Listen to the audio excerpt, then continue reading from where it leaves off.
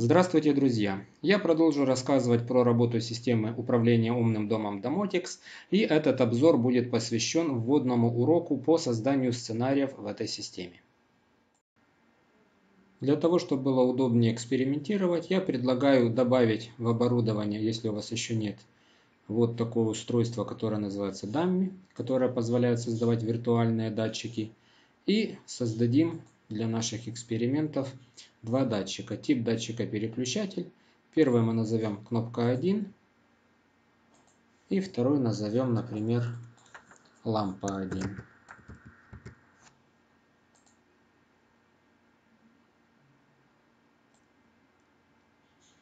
Оба этих датчика появились у нас в меню переключателей. Вот они в самом низу, кнопка 1 и лампа 1. И кнопку 1 мы нажимаем «Редактировать». Давайте действительно сделаем кнопку. Вот кнопка с одним единственным состоянием «Включить». Лампа пусть остается так, как она у нас есть. Теперь переходим в меню «Настройка», «Дополнительно», «События». И здесь создаем новый сценарий, выбираем тип сценария This Events, это Domotics Events, события Domotics. На данный момент, э, по моему мнению, это сейчас самое продвинутое э, продвинутый способ для создания сценариев. Многие мне пишут, что вот как сделать такой-то такой-то сценарий на блоках. Блоки это зло, не делайте ничего на блоках. Переходите на Lua на худой конец, либо вот на Des Events, это лучше всего. Давайте рассмотрим структуру сценария, который у нас появился по умолчанию. В первой, так сказать, секции у нас имеется э, описание этого сценария. В данном случае этот сценарий devices, который будет отслеживать изменения состояния устройств. И далее у нас уже непосредственно э, действие этого сценария. В данном случае у нас пишется нечто в лог. Ну, давайте сделаем э, самый простой сценарий, который по нажатию кнопки, в зависимости от состояния нашего виртуального выключателя, будет либо включать, либо его выключать. Итак, вот наш пример сценария. В первой секции сценария мы объявляем список устройств, которые, э, статус которых мы будем отслеживать. В данном случае это устройство кнопка 1, как мы ее назвали. Запускаем наш сценарий по изменению статуса device, domotics device.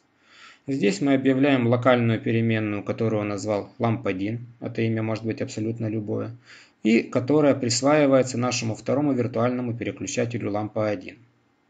Далее мы отслеживаем по изменению девайса, который называется кнопка 1, Э, на самом деле, если у вас сценарий только одно устройство, э, это писать не надо, можно сразу писать device, э, device state. Вот. Ну, будем писать лучше полный текст, это нам, даст нам возможность использовать несколько, так сказать, сигнальных девайсов. Итак, если device name кнопка 1 и оно генерирует событие on включено, тогда мы проверяем. Состояние лампы 1 включено, тогда мы его switch off выключаем. Иначе, в любое другое состояние мы его включаем. Сценарий закончился. Не забываем ставить здесь справа галочку Event Active. Событие активно, без нее он не будет работать. И сохраняем ее. И теперь давайте проверим. Переходим на вкладочку Переключатели. Вот внизу наши кнопки. И нажимаем. Видите, он включился.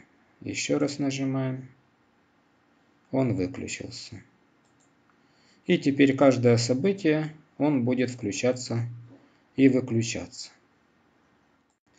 Предугадывая ваши вопросы, немножко расскажу, как получать, э, какие статусы генерит у нас то или иное устройство. Возьмем, к примеру, выключатель, беспроводный двухкнопочный выключатель. Вот, нажимаем редактировать, у него 4 состояния. Выключено switch 1 это левая кнопка, switch 2 это правая кнопка и двойной клик это нажатие на обе сразу кнопки. Любое из этих событий мы точно так же можем обрабатывать. Возьмем, к примеру, что-нибудь другое. Так, что у нас здесь еще есть? Какие кнопки? Видите, у меня много устройств. Вот, кнопка круглая, кнопка. Вот ее статусы. Выключено, В принципе, этот статус не обрабатывается. Э, здесь статус click, double click, long click. И у нее еще есть дополнительный статус, которого нет в мехом. Это отпускание э, клавиш, отпускание кнопки после длинного нажатия. То есть вы нажимаете и в момент отпускания срабатывает. Но реально он, я не знаю, где его использовать. Вот эти вот три действия. Click, double click и long click, которые мы можем использовать. Итак, в каждом у нас устройстве мы можем посмотреть его статусы, которые он может генерировать и использовать их таким образом в сценариях. Вот в кубике, например, больше всего этих статусов. Переворот на 90, на 180, движение, двойной щелчок – потрусить в воздухе его, свинг, ну свинг статус есть, но на самом деле его воспроизвести нельзя, этот статус при подключении кубика к шлюзу используется только в одном случае. Алерт это если он, э, кубик лежит несколько минут неподвижно и потом его сдвигают.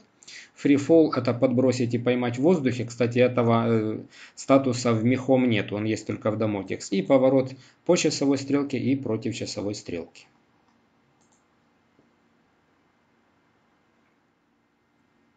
Давайте немножко усложним наш сценарий, добавим еще один виртуальный датчик, назовем его лампа 2.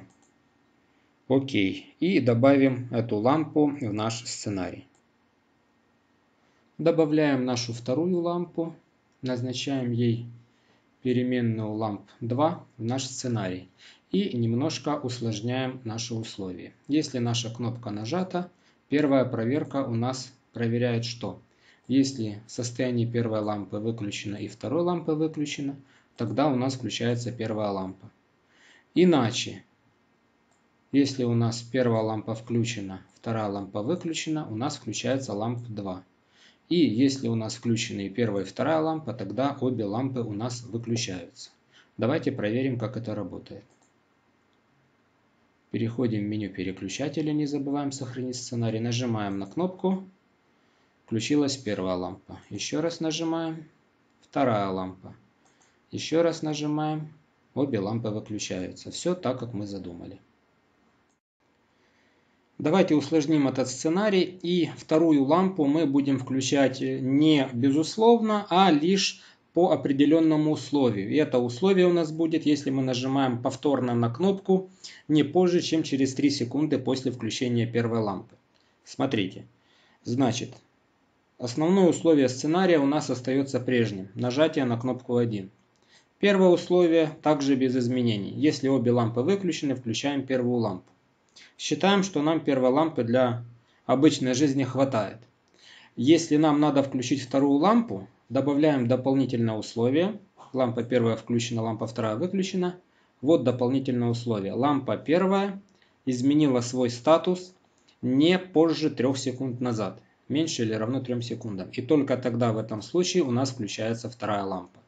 Если мы нажимаем на кнопку более чем через 3 секунды после изменения статуса первой лампы, тогда у нас эта же первая лампа выключается. Что нам это дает? Мы обычно включаем, выключаем кнопкой, работает у нас только первая лампа. И если нам нужен яркий свет, тогда мы нажимаем на кнопку два раза подряд, не позже, чем через 3 секунды, и тогда у нас включается вторая лампа. Ну и условие последнее, когда у нас включены обе лампы, то они обе и выключаются. Давайте проверим, как это работает. Переходим на меню переключатели. Обе лампы выключены. Нажимаем на кнопку.